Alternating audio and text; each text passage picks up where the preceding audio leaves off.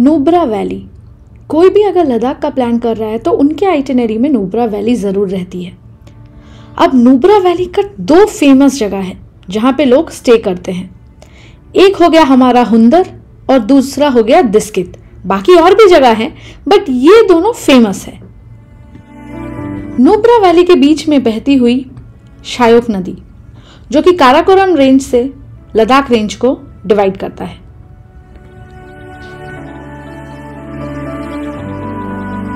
Diskit monastery के सामने मैत्री बुद्धा का 108 फीट का बना हुआ ये स्टैचू नुब्रा वैली की ओर फेस किया हुआ बनाया है।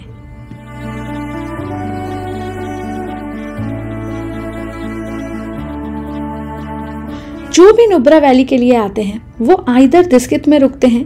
या दिस्कित से ही पाँच से सात किलोमीटर दूर हुंदर है, वहाँ रुकते हैं। दिस्कित में रुकेंगे तो आपको ये वास्ट वैली व्यू आएगी। और अगर हुंदर में आप रुकते हैं तो आप सैंड्यून्स के ज़्यादा सामने होंगे। शायोक नदी भी आपके नज़दीक होगी।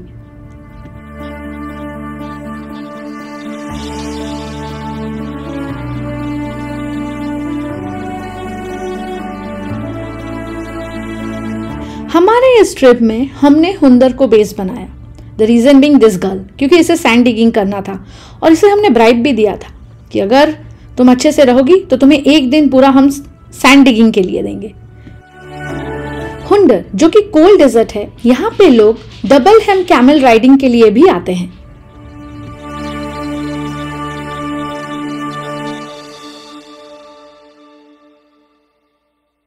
अब हुंदर में है तो बच्ची को सैंड डिगिंग के लिए लेके जाना ही पड़ेगा। तो सुबह के लगभग 11-12 बजे हम तुरिया को वहाँ लेके गए थे। उसने वहाँ पे इतने सारे फ्रेंड्स बनाए और लगभग दो घंटा वहाँ पे वो सैंड डिगिंग ही करती रही।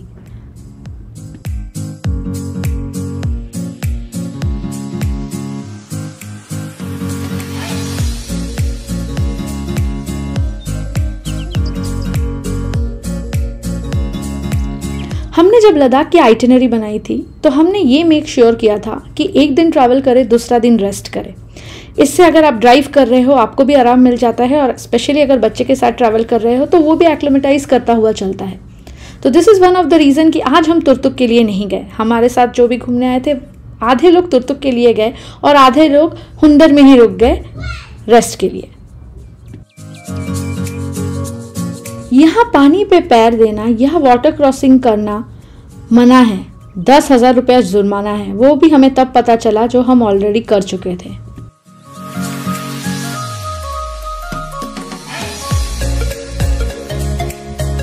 लद्दाख में मैक्सिमम जगह डिनर और ब्रेकफास्ट इंक्लूडेड होता है सारे होम स्टे में।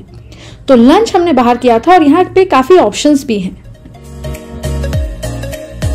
हुंडर में हम ग्यालपो हाउस में रुके थे। इसका मैंने एक अलग से डिटेल वीडियो बनाया है, पूरे इस प्रॉपर्टी टूर का डिटेल्स ऑफ़ प्राइस और प्रॉपर्टी कैसा है। तो आप वो वीडियो को ज़रूर देखना। यहाँ पे फ़िलहाल मैंने आपको अपना रूम दिखाया है, जहाँ पे हम एक दिन के लिए रुके थे।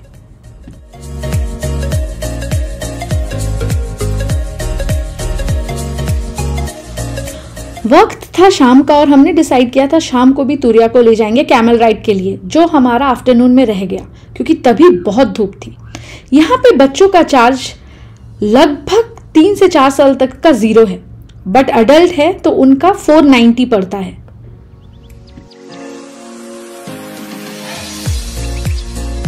मुझे और प्रतीक को कैमल राइड नहीं करना था। बच्चा तूरिया के चाचा जी। तो जी हाँ तूरिया ने अपना फ़र्स्ट कैमल राइड किया। वो भी कोल्ड डेजर्ट में अपने चाचा के साथ।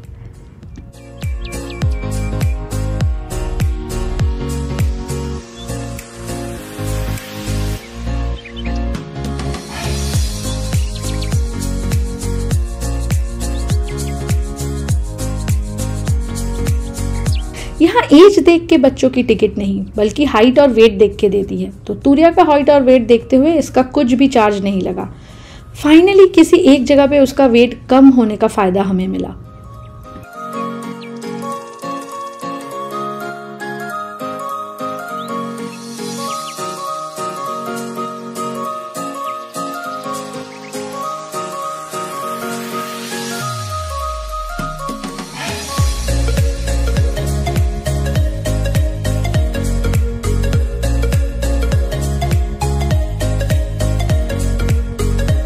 यहाँ कैमल राइड के अलावा भी और भी एक्टिविटी थी, जैसे ये बाइक राइड और शूटिंग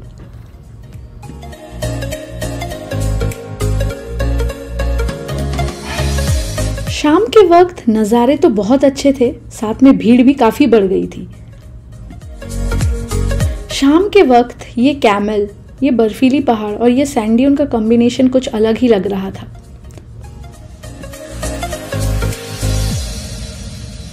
हमारा एक दिन नुब्रा में बहुत अच्छे से रेस्ट हो गया स्पेशली तुरिया, जो इतने दिन अपने रोड ट्रिप में बोर हो रही थी, आज का दिन उसने बहुत इन्जॉय किया और हमने अच्छे से एक्लोमेटाइज भी कर लिया। तो इसी के साथ आज का ये हमारा ब्लॉग यहीं पे ख़त्म होता है। मिलते हैं एक नए ब्लॉग के साथ।